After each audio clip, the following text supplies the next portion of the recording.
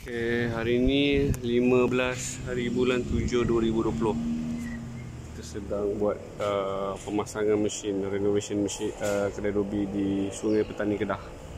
Di area Ambangan Had Sungai Petani Kedah.